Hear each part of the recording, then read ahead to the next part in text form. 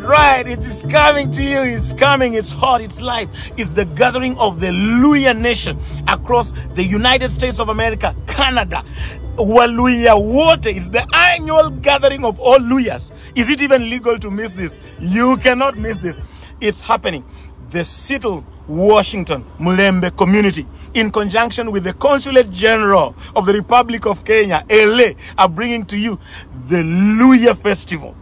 Obulala Wabaluya, it's happening at the Everett Community College. We are coming by road, we are coming by sea, by air, by rail, by all means. We are coming down there. Nitakuwa huko ndani.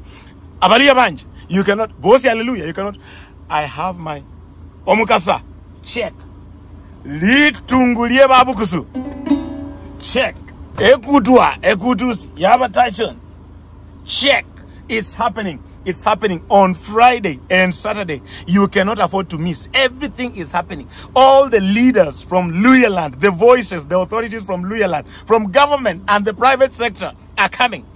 Tutakuwa huko, tutafinya na tutadance. Mabeka mabeka, mabeka kene, mabeka kene, mabeka mabeka, mabeka mabeka na tunafinya kakitu. Obusuma busuma bwana bulo kama beleke kumwimbi kwena kusiene lisiena liene kusieba lisieba liene. Isukuti ngada litungu tiriri obukutu you cannot afford to miss it. Is it even legal to miss it?